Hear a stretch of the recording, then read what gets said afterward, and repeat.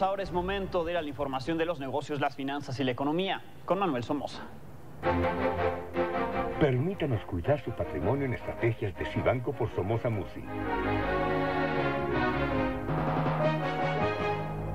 Alejandro, muy buenas noches. Quisiera comentarte que hoy los mercados de México y del mundo mejoraron un poco en relación a lo que vimos ayer, que fue bastante malo.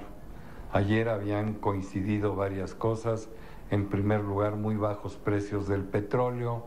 En segundo lugar, un dato del crecimiento de la industria automotriz en Estados Unidos bastante mediocre. Y bueno, el hecho de que los bancos europeos están bastante débiles y requieren de mayor capitalización.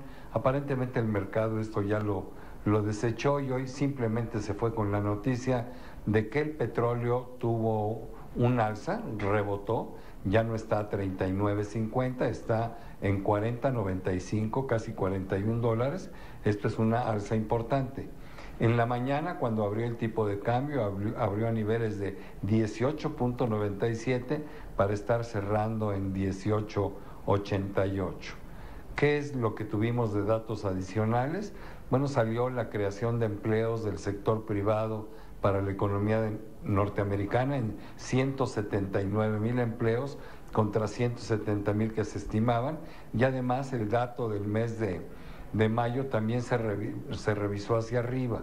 Yo creo que esto puede ser un buen indicio de lo que debemos de ver el viernes, que es el dato de la nómina no agrícola y que es un dato que por su propia naturaleza se le da gran importancia en los mercados.